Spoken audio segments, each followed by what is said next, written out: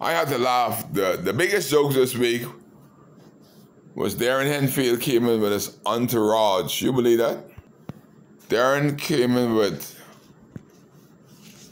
Pintard and Cartwright. I ain't see them. I ain't had time to waste film on Darren, Pintard, nor Shanador or Donador, Cartwright, or whoever the hell he is. It shows you lack of leadership within both parties because about 50 to 60 people percent of people didn't come out to vote to vote. They're not interested.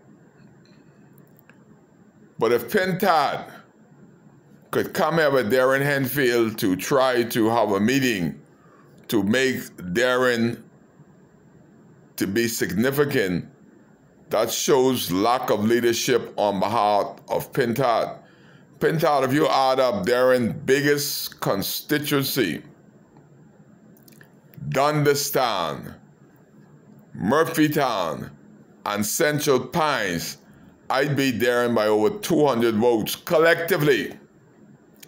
And Darren was the third most powerful minister in that white nothing Minnis administration.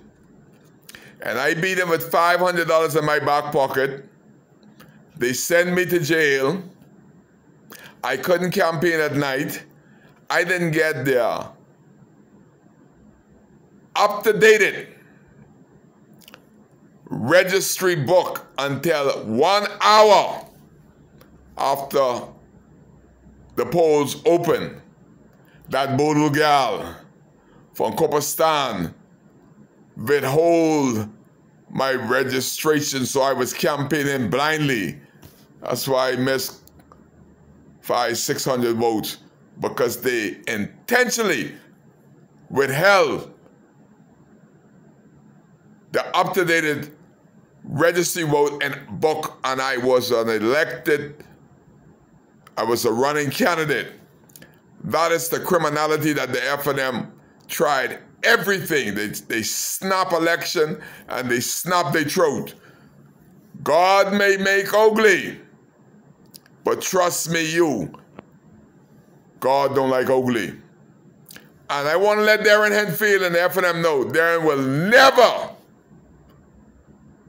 win the rights to run for chicken coop.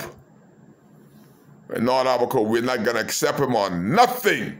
He's done. Stick the finger, stick the fork in him. He's done, man. He's out of there.